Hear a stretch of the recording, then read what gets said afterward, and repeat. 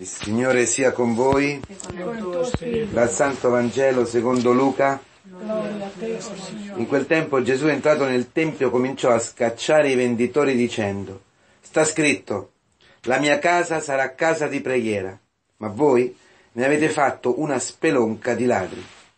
Ogni giorno insegnava nel Tempio. I sommi sacerdoti e gli scribi cercavano di farlo perire, così anche i notabili del popolo, ma non sapevano come fare perché tutto il popolo pendeva dalle sue parole. Parola del Signore.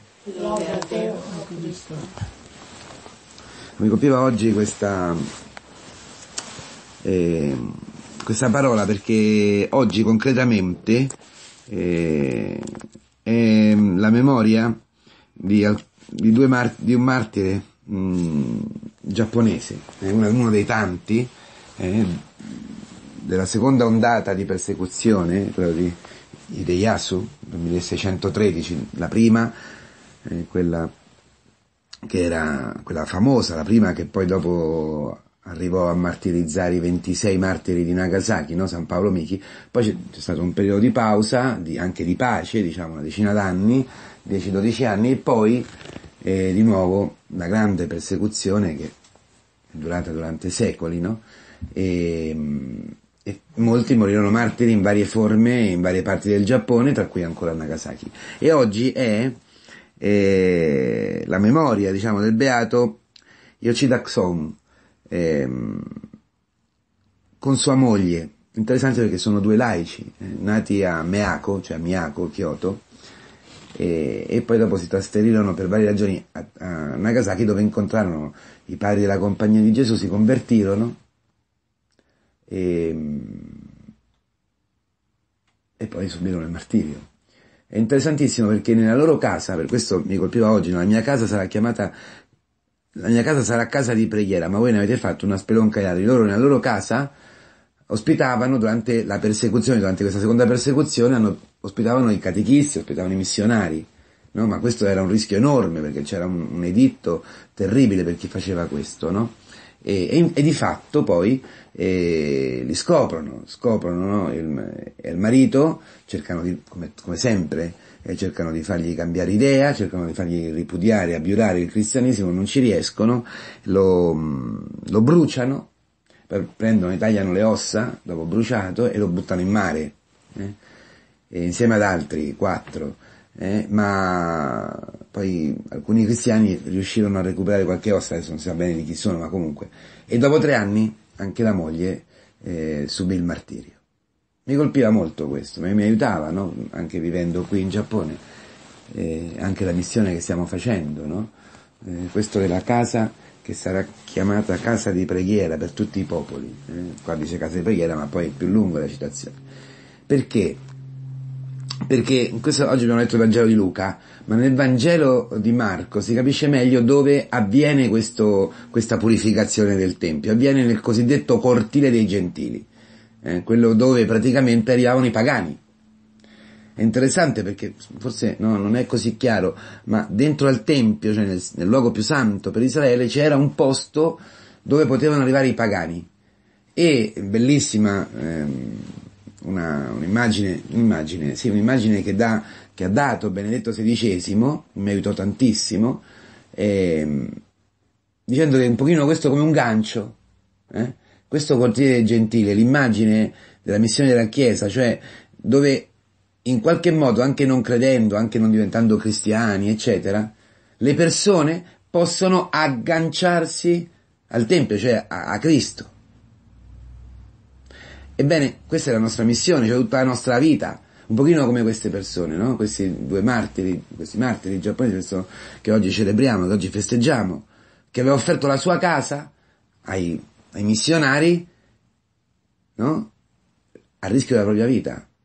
Perché?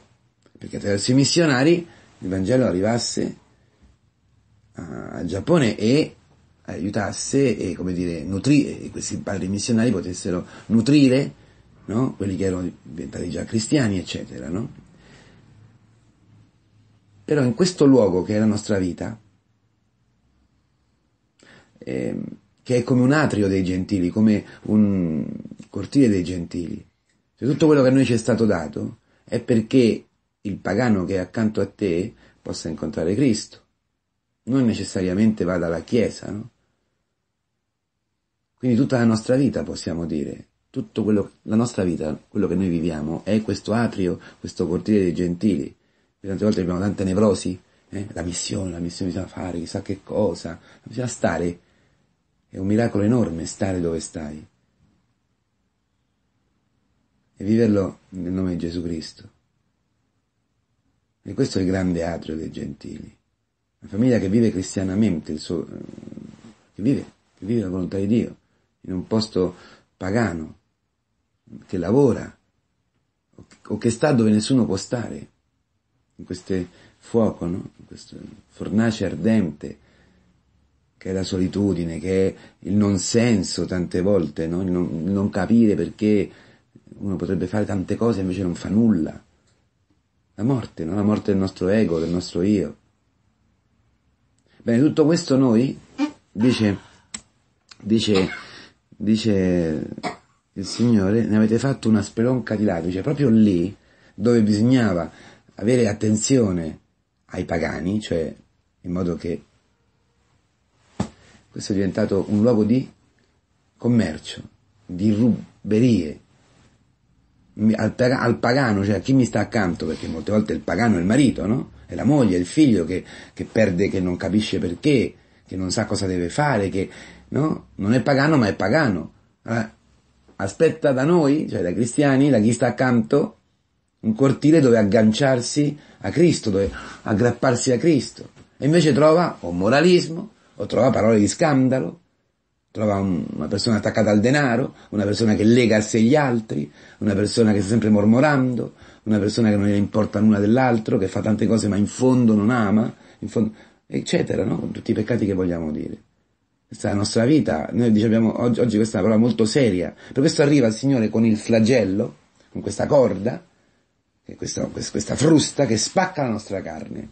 Cioè arriva, arriva la storia, arrivano i fatti che ti umiliano, e ti mostrano che tu de, di zelo niente, ma non perché lo hai perduto, ma perché non ce l'hai mai avuto, che a te non ti interessa veramente. Perché se ti interessa veramente della persona, fai la volontà di Dio. No, no i tuoi piani pastorali o le tue idee di madre, di padre. Tu fai quello che mm, aiuta, aiuta tuo figlio, aiuta tuo marito, aiuta tua moglie, aiuta le persone che stanno accanto a te. La tua vita di tutti i giorni nella solitudine, nella debolezza, nella povertà, nel silenzio, all'ultimo posto, più che mille e, diecimila parole, anzi che quelle forse non servono, che non ascoltano. In, in, eh, come si dice, misteriosamente, è questo il cortile dei gentili, che Gesù viene a purificare, cioè a rimetterci dentro la volontà di Dio. Dico questo perché, perché proprio oggi, no, questo, questo che ha dato la vita, si è giocato la vita questo uomo, per ospitare, per fare della sua casa una casa di preghiera, ha dato la sua vita, si è giocato la sua vita, come Cristo, questo è, io, io amo pensare a questo cortile dei gentili come il fianco di Cristo squarciato, no? Dove è uscita l'acqua e il sangue, sono uscite acqua e sangue, cioè è Lui che a noi che siamo pagani veramente, che abbiamo trasformato la nostra vita in un luogo di, dove rubiamo l'onore, rubiamo la dignità, rubiamo eh, sì, l'altro, lo, lo, nullifichiamo, lo usiamo, ci mormoriamo contro, costantemente ci ribelliamo. Bene, questo luogo orribile che noi abbiamo trasformato in una cueva della, come in una, una, spelonca di ladri, Cristo ha il potere oggi di trasformare quello nel posto più santo e più importante della terra cioè trasformare la mia debolezza, la tua debolezza, in una porta di speranza per tutti i popoli. E questa è la cosa più grande, il mistero che oggi viviamo, no? Nella Chiesa, con i sacramenti, con la parola. Cristo viene e come viene Cristo a purificare? Ha il potere di trasformare.